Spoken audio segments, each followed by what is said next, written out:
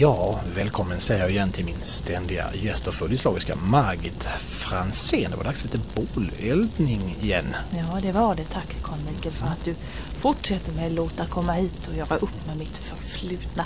Jag har någonting att bekänna både för dig och för våra lyssnare. Och jag ska säga att det här är inte lätt för mig.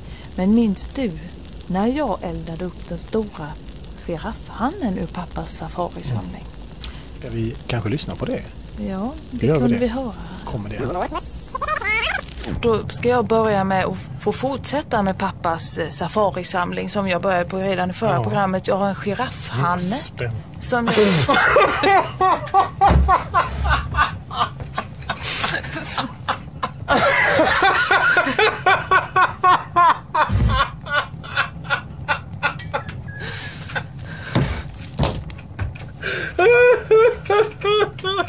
Förlåt Anna, det var inte meningen. Fan, jag kunde inte hålla mig. Fan vad gott att elda så jävla grej. ja, vi fortsätter det. Ja, det var, var, var, var för jävligt alltså. Det var så jävla roligt. Och idag tycker jag att det har blivit dags för att eh, elda den gamla...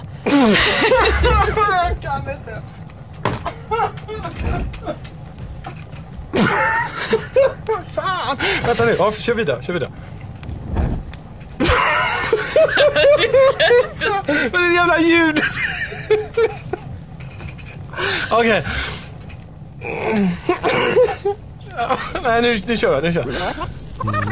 Det var en yster Det stämning var ska jag mycket säga. ystert. Men som det hela blev sig då så eh, vill jag nu erkänna att jag eldade faktiskt inte upp hela giraffhannen. Jag har svårt att titta Vad dig i säger ögonen du när jag Margit? säger detta. Har du Men så- blåst oss?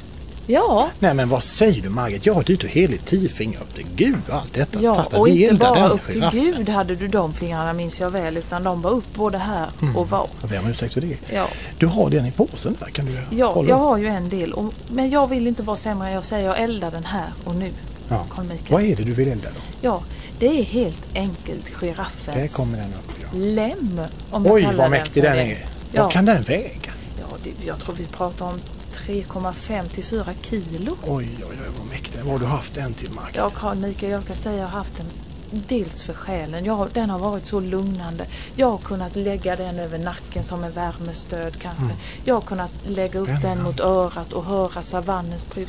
Men jag har den också nu mer bara Som nyckelknippa. Vad, ja. vad spännande Det är ju en rejäl sak som aldrig kommer Och nu bort. ska du elda upp den alltså. Nu ska jag Ja. ta av nycklarna här och då, om du hjälper mig nu med den Oj, vad den är mäktig du.